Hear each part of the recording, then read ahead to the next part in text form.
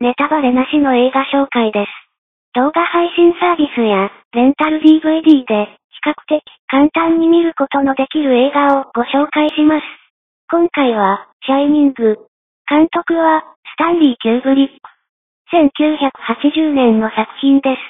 豪雪のため、冬の間、閉鎖されるオーバールックホテルの管理を受け負った、小説家志望のジャックは、妻と息子と共に、雪深い陶器へやってきます。以前の管理人が、家族を惨殺した上自殺した、という曰く付きの不気味なホテルで、ジャックは次第に幻覚を見るようになり、やがて、というお話です。出演は、ジャック・ニコルソン、シェリー・デュバル、ダニー・ロイド、スキャットマン・クローザースほか、徐々に狂気に侵されてゆく、ニコルソンの演技は圧巻。原作との乖離が激しく、原作者のスティーブン・キングが嫌った作品と言われていますが、ホラー映画を語る上では、絶対に外せない作品です。最後までご視聴いただき、ありがとうございます。できましたら高評価、チャンネル登録をお願いします。